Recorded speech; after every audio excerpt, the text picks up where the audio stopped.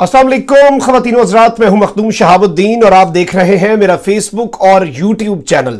बहुत बड़ी तब्दीली इमरान खान ने अपनी टीम की जो फील्डिंग पोजीशन है उसके अंदर कर दी है। और इस चीज़ से यह अंदाज़ा होता है कि ये मैच कितने ही अहम मरहले में दाखिल हो चुका है। और अपोजिशन जो है, वो क्या कुछ तैयारियाँ कर रही है जिसके तनाजुर में? इमरान खान ने यह इंतहाई बड़ी तब्दीली जो है अपनी काबीना में की है और अहम तरीन जो प्लेयर्स हैं इमरान खान की काबीना के, उनकी फील्डिंग पोजीशंस चेंज कर दी हैं, जिसने पूरे मुल्क में डिबेट स्टार्ट कर दी है और ऑपोजिशन जो है उसकी चीखें शुरू हो गई हैं।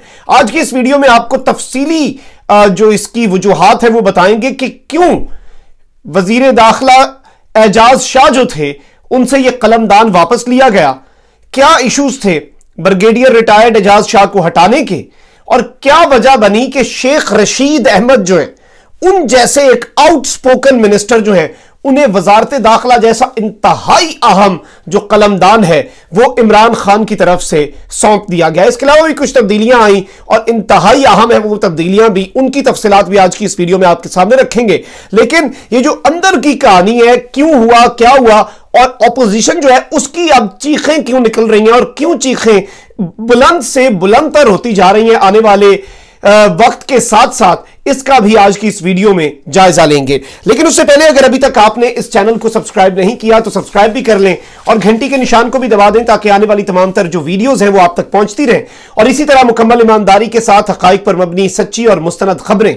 मैं और मेरी टीम आप सबकी खिदमत में पेश करते रहे और मेरा ये जो ताल्लुक है, ये आपके साथ बरकरार रहे और हम पाकिस्तान की सियासत और साफत की काली भेड़ों को मिलकर एक्सपोज करते रहे। खातिन हजरात वजारत दाखिला इंतहाई अहम वजारत होती है। तमाम तर जो महकमे हैं, पुलिस के हो जाए या कानून नाफिज करने वाले, वो वज़ीर दाखिला को डायरेक्टली रिपोर्ट कर रहे होते हैं। इस पूरी सूरत हाल के अंदर आपको एक चीज़ मैं बता दूँ कि जब इमरान खान ने वजारत उज़मा का कलमदान संभाला जब अंदर खाते वो वजारतें देने का सोच रहे थे और पूरी डिस्कशन हो रही थी। शेख रशीद जो है, वो उस वक्त भी वज़ीर दाखिला बनना चाहते थे और ये वज़ीर दाखिला की पोजीशन इंतहाई हॉट पोजीशन थी और इस पर उस वक्त बहुत ज़्यादा सियासत हो रही थी। जब काबीना इनिशियली बन रही थी, इमरान खान जब इनिशियली अपनी कैबिनेट फॉर्म कर रहे थे।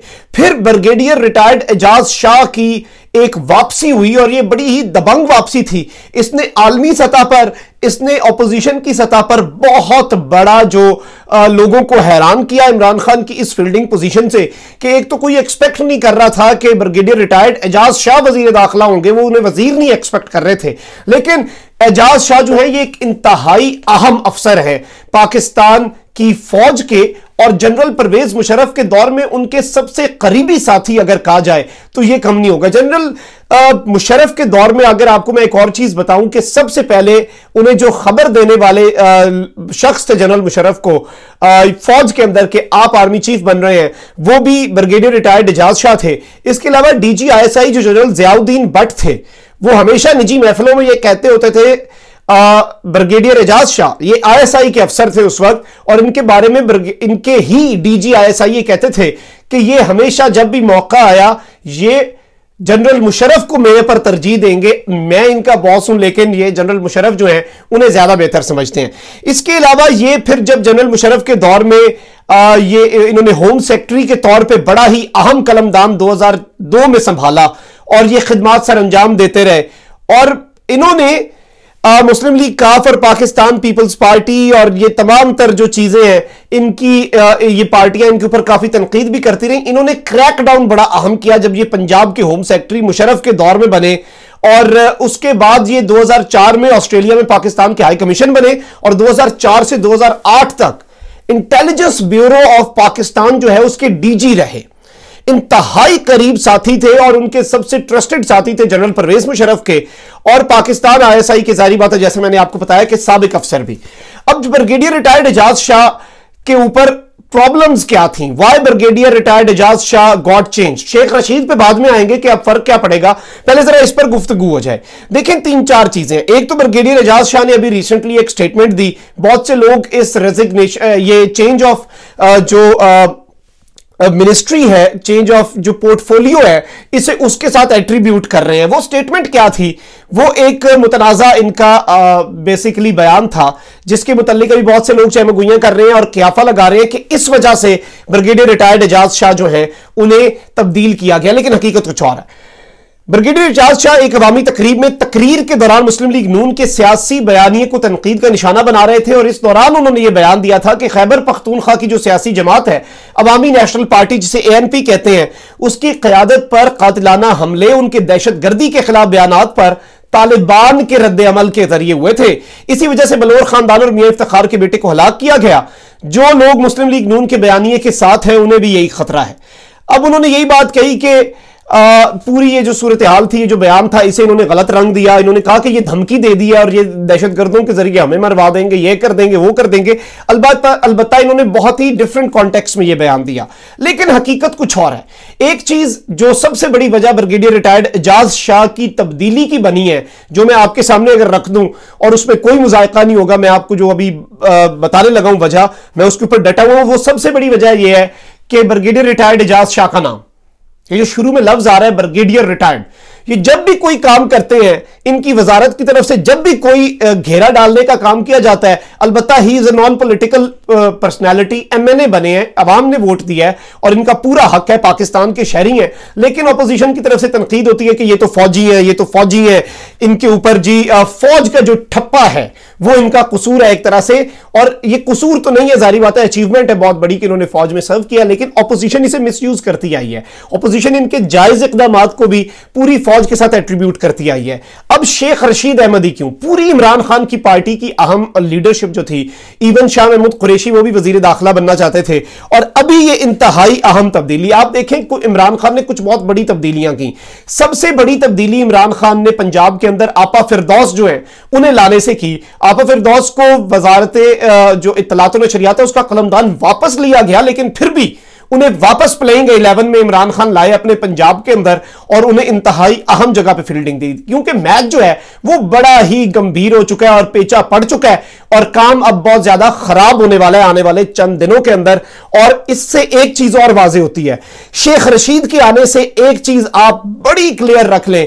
एक शेख रशीद आउटस्पोकन है। उनके आने से जो चीखें पड़ रही हैं शेख रशीद जो है, वो मसलहत जो है, वो बहुत ज़्यादा उसका शिकार नहीं रहते और वो मसलहत की तरफ़ नहीं देखते। वो नहीं देखते कि क्या बेहतर है क्या मस, अब क्या इसमें मसालियत की जाए क्या मुजाकरात हों। क्रैकडाउन बहुत बड़े आप एक्सपेक्ट कर सकते हैं। ये जो कोरोना के दिनों के अंदर जलसे हो रहे हैं इसके ऊपर एक चीज़ और वाजे हो सकती है कि स्टेट की पॉलिसी हो सकता है कि बड़ी ही सख्त होने जा रही हो जिसकी वजह से ब्रिगेडियर एजाज शाह को साइड पे किया गया हो। लेकिन दिलचस्प बात अगर तो ये लोग खुश हैं कि ब्रिगेडियर एजाज शाह हटे हैं कहीं चले गए हैं यही तो सबसे बड़ा मसला है।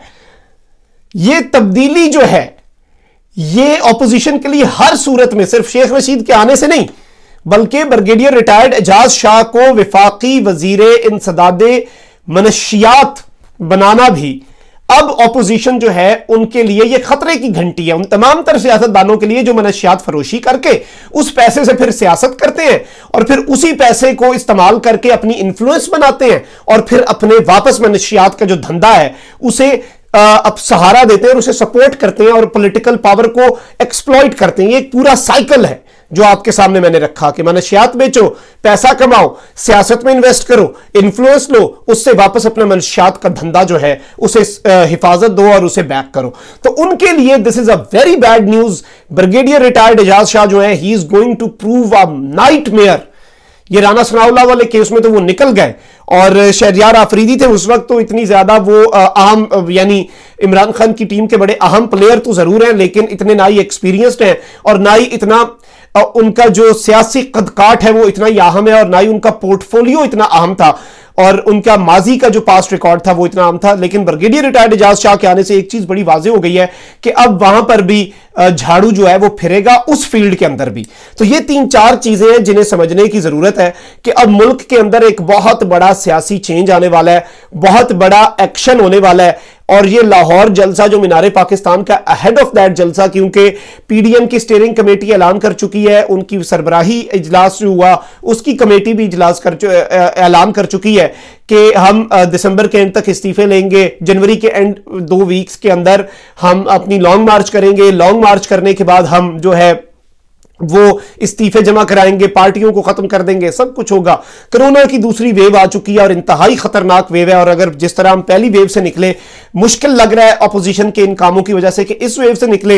एक तो यह तनाजुर भी हो सकता है और दूसरा, ब्रिगेडियर रिटायर्ड एजाज शाह के होते हुए अगर वजारत दाखिला में कोई बहुत बड़ा और दबंग और इंतहाई अहम अगर कोई एक्शन लिया जाता तो वो इश्यूज़ क्रिएट कर सकता था। वो फौज का इनका फिर से बयानिया आ जा रहा था कि इसके पीछे तो हुकूमत नहीं है, फौज है।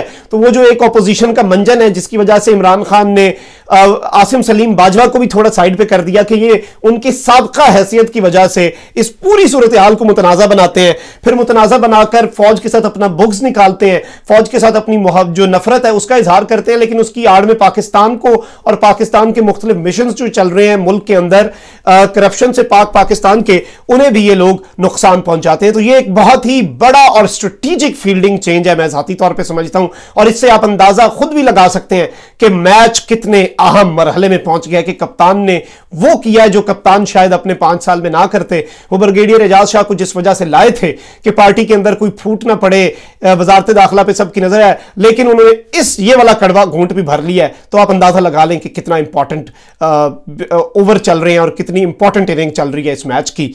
मखतूम शाह को इजाज़त दीजिए। चैनल को ज़रूर सब्सक्राइब कीजिएगा, आपका अपना चैनल है और आपकी हौसला अफजाई होती है जब आप हमारे चैनल को लाइक करते हैं, कॉमेंट करते हैं, डांटते हैं, राय देते हैं, प्यार का इजहार करते हैं, ये सब आपका प्यार होता है। आपने कमेंट ज़रूर करना है और कोई मशवरा हो मेरे लिए, मेरी टीम के लिए, वो भी देना है और चैनल को ज़रूर सब्सक्राइब करना है, क्योंकि ये आपका अपना चैनल है, हमारे लिए बड़ी हौसला अफजाई होगी अगर आप हमारे चैनल को सब्सक्राइब करेंगे। मखदूम शाह को इजाज़त, अपना बहुत ख्याल रखें, अपने इर्द गिर्द लोगों का भी और इस मुल्क पाकिस्तान का भी, क्योंकि पाकिस्तान है तो हम हैं। अल्लाह ने पाकिस्तान जिंदाबाद।